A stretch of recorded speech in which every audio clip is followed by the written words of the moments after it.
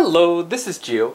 Hey, many of you use Comcast or Xfinity for your cable company service provider, and many of you also may have a digital video recorder or DVR connected with your cable box. Now, if you're confused about how to use a digital video recorder, today I will show you some easy tips. Okay, so I went ahead and turned on the TV. I put it on mute so it won't uh, disturb us and I want to focus in on this remote. Now this is an XR11 Xfinity remote. If you have a different type of remote this tutorial might help you out a bit but again this is primarily for the XR11 Xfinity remote. It looks like this. Okay, so I want to focus right now on two buttons on this remote. You see many, many buttons. Um, I want to focus on, on this red one here and this Xfinity button here. We also uh, will will discuss this little keypad here which has a right, left, up, and down button and an OK button in the middle just like that. Okay, so I want to focus on this red little button here first. So this is, this red dot means record. And right now I'm watching uh, an old episode of MASH and if I was interested in recording this program from where we're at now on, all I would need to do would be pro, uh, to push this little red button. And so let's go ahead and do that. Um, went to a commercial right now, but if I was interested in MASH, I would just hit um, this little red button here, and you'll see a little menu after I press that. Now, um, because Comcast Xfinity knows what's programmed in terms of the different programs in its schedule and beyond, it has already identified that I am watching MASH. And then you have two options underneath. It says, these are basically questions. Just this episode. It's asking you, do you want to just record this episode? And then there's another option, all episodes. So if you want to just record this episode that's playing now, uh, you would just hit the OK button in this little keypad here, just the center, and you'd hit OK. But if you wanted to uh, record this episode, the re remaining parts of this episode, and all future episodes, you would hit the right arrow here to switch the menu to all episodes, and then the OK button. Uh, but we'll cover that in just a sec. Right now I just want to record this episode only. So I went ahead and moved it to the left. It's selected. I hit OK. And then you see a little menu say, your recording is set, MASH. And it says today 355 to 401. Now, uh, really there's only a few minutes left on this MASH program. Um, and you're only recording from what, if, if you're watching the show now, you can only record from when you started recording to the end. It won't give you the entire program. Now future recordings, if you did all recordings, it would start from the beginning and we'll cover that in a minute. So I get a lot of questions. Hey Geo, well I just recorded something but um, and the and the program got recorded. I think it's recorded, but I really don't know. How do you see if it was recorded and how do you actually uh, view your recording? Well, that's where this Xfinity button comes in. So it's MASH is still recording as we speak, but if I hit this Xfinity button, a new menu will appear in your screen. So we'll go ahead and do that next. And you see a menu just like this. Now, uh, there's several options as guide, saved, on demand, search, apps, etc.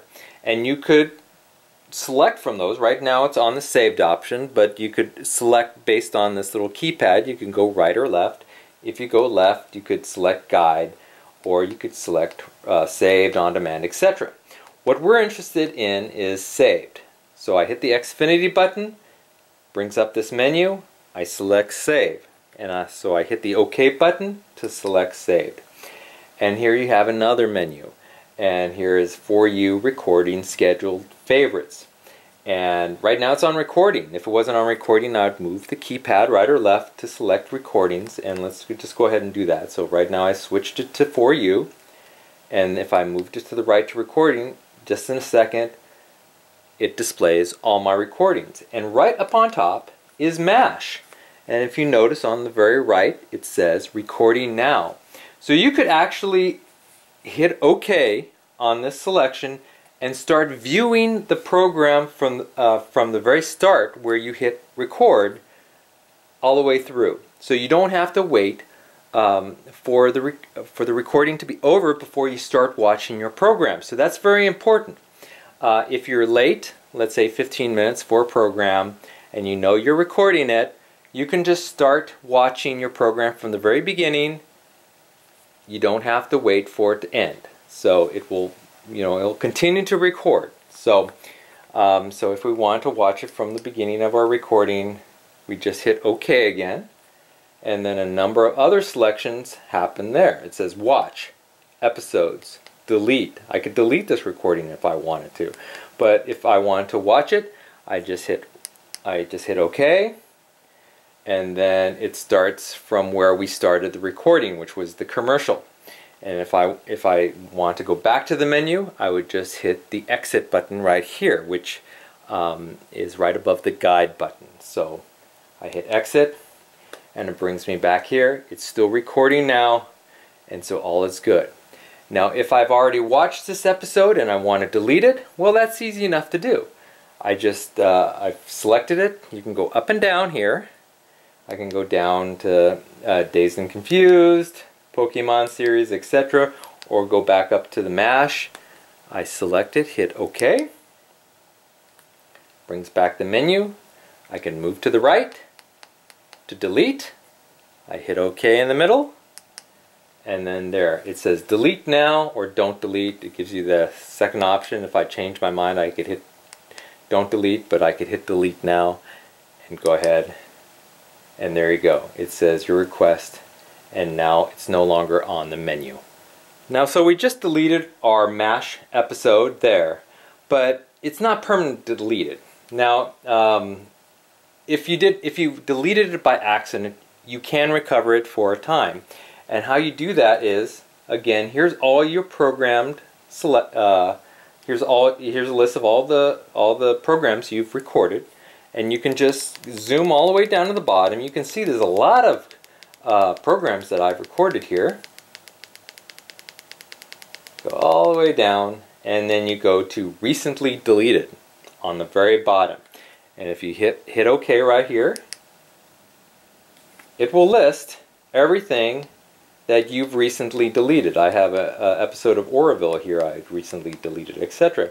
And you have your MASH episode right there.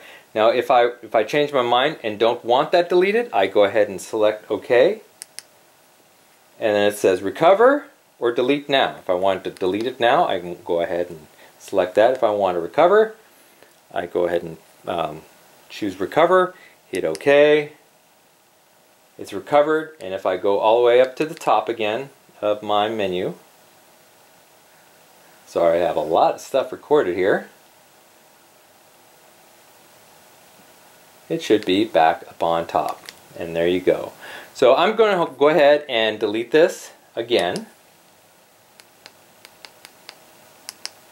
It's asking me do I want to delete it now? I hit OK it's deleted. And now I'm going to go all the way back down again. Now if you look, are looking on the right uh, upper right side, you can see I am 61% full. The DVR is 61% full, and I have 85 programs. So depending on what what your um, DVR can hold, it can actually hold an awful lot of programs. And so recently deleted, I hit OK. There's the MASH. This time I want to delete it permanently. Now a note for you. Everything in recently deleted category does not um, does not really increase how much your DVR is full for some reason. Now I've had like 20 up 20 recently de deleted things and the percentage for me does not change. So I'm not sure if different DVRs are different. But for me, the uh, recently deleted will eventually delete on its own but you can also delete it if you would like. And so I selected MASH, I hit uh, OK, recover or delete now. I move it to delete now. I hit OK again. And now it asks you, do you want to permanent delete it or don't delete? You could always change your mind. I want permanent delete, so I hit OK button. and then it deletes it. And you can see my recently deleted uh, goes to four shows, MASH is not there. And now I cannot recover that MASH program. So once you hit permanently delete it, it's gone. Okay, so now we're back to our MASH program, and uh, let's just pretend I want to uh, re record not only the remainder of this episode, but all future episodes. So I go ahead and hit um, record button here. It gives me uh, just one episode or all episodes. So I move to the right. I go to all episodes. I select that. And now another menu appears. You can hit confirm or cancel. Now you could just automatically hit confirm and you're, you're good to go. You can hit cancel if you change your mind. But there's also some recording options below. And if you hit the uh, down button like this, you can select this. Now the first one is record. Now it says uh, new episodes only. If you move to the right, it says new and repeat episodes. Move to the right again, and then it says uh, new episodes again. So there's really only two choices there. So what it's asking you is Comcast Xfinity can recognize most of the time if it's a brand new episode never seen before or if it's a repeat. You sometimes see the R or repeat uh, name on some of your programs. Well, Xfinity knows this. So if you hit new episodes only in this option, well, your um, DVR is only going to record the newest episodes that come out, not the repeated episodes. But if you're also interested, now this is MASH, so everything's repeated. They don't have any new episodes. So I would probably select new and repeat since I'm interested in, um, you know, MASH, which is all repeated. So I go ahead and select that. And then I could move down. The next one is channels. Now I'm on uh, WGNAM only, which is the current channel I'm on. You can move it to the right HD uh, preferred. So it will basically search every channel for MASH. And depending, it doesn't matter which channel it's on, if it identifies MASH, it will record it on HD if it's an HD format. Or you can move it on side, and this is standard definition. Now, uh, MASH is an old program, so maybe a lot of channels are carrying it on standard. So maybe I want to select that one um, because if or I could just do the, the, the WGN version. Um, so let's go ahead and just do SD version. So that basically will copy all the SD. And now you can go down again. Now, saved option is you have several options as well. You can go saved until space is needed. So as you saw, I was up to 61% on my DVR with 85 programs. Now if I was like up to 99% or 98%, well, new episodes may, you know, fill my DVR. So this basically says it will save it until space is needed, and then if space is needed, it will delete it. So as long as I stay below 100% capacity, it will still remain there. Okay, I could also move it uh, to the right, and it says save for one year. So irrespective of uh, how much space I have, now I won't continue to record if I have no space, but if if there's some programs in my DVR which is programmed to save until room is needed, um, then if I select for one year, it'll delete those other programs before it will delete this one, and this one will be kept for one year. Um, and so those are the two options, until space is needed or for one year, etc. So if you do until space is needed and you never reach the capacity of the 100%, then this could potentially save for years. So, um, but if you select the one year, even if you have space available, it will delete it after a year. So we'll go ahead and select that. And then next selection is keep all episodes is the first one. Next one is only one episode, only two episodes, only three episodes, four episodes, etc. So up to 10, 15, and then it, yeah, apparently it goes up to 25. So basically what it's asking you is if you tend to watch your programs right after they're recorded, then you may want to just uh, say keep one episode at a time. If you don't watch this one, the next time, the second uh, episode that's recorded, it'll delete the first. So that's all that's saying. And you can just say keep them all or keep up to 25. So we'll just keep them all for here. Now the last two um, selections are start or stop. Now many of you have probably noticed some programs start early. Sometimes they extend a few minutes after the hour.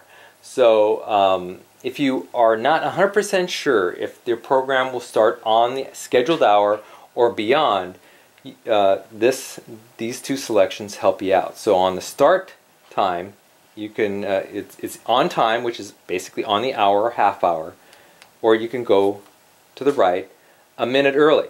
So it'll start at let's say 3:59, um, or you can move it to two minutes early or on time. So you can only do two minutes early. So we'll go ahead and just select one minute early. And stop, same thing. You can stop three minutes later, five minutes later, 30 minutes later, or just on time. We'll just end it on time. So this is just the programming. So we're basically, for every episode of MASH that we want to record, it will start one minute early and end on time of the schedule. It'll record all the episodes, keep them for one year, and it'll record all the SD preferred um, and new and repeated and then you just go to the top and hit confirm and there you have it mash is being recorded all future uh, mashes are being recorded and if you don't delete them after a while it'll probably fill up your DVR since there's so many mashes being being seen but there you have it Okay, so we went ahead and recorded our MASH programs and all future episodes. Now, I want to focus again on this Xfinity button, so let's go ahead and hit the Xfinity button to see what we, we have saved, etc. So I go ahead and hit saved, hit OK. And now, again, there's this top menu, recordings. Now, I could show you, you know, I have two, you know, two mashes because the first mash just ended and now it's recording the second mash since, since WB is just showing mashes back to back. So um, now if I was interested in knowing everything that I have programmed for the future, I could hit up. And now you can go to schedules. And so recordings are just those things that you've already recorded, those programs. Now you might have scheduled other programs that haven't recorded yet. And so then you want to move to the right for scheduled programs.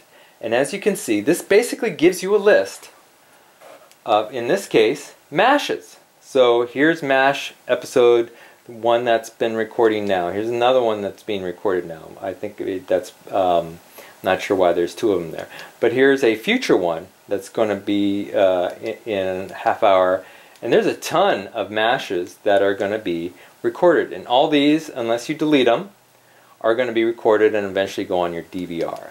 Here's uh, an episode of Taken that's going to be, and this is all in order. So basically from now on, you can see Mashes is being played all all over the place, either on the WB or on other channels, and you can see how many mashes you're going to be recording.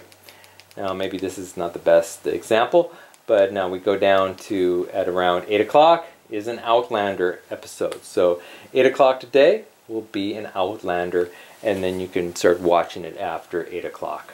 So this is under the um, this is under scheduled. So if you want to see what's recorded again, you would just go to your recordings and then move down and figure it out. So I'm just going to go ahead and uh, delete my MASH since I'm not actually going to watch these. So I go ahead and go over to the X button I hit delete.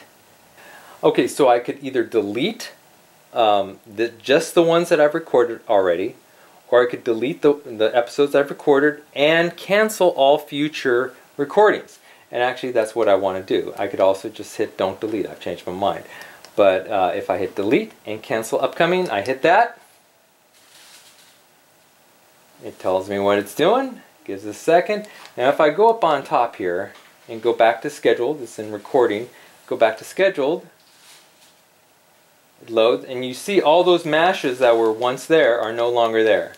And so all those upcoming recordings have been canceled. Okay, so from here I'm just going to hit the exit button.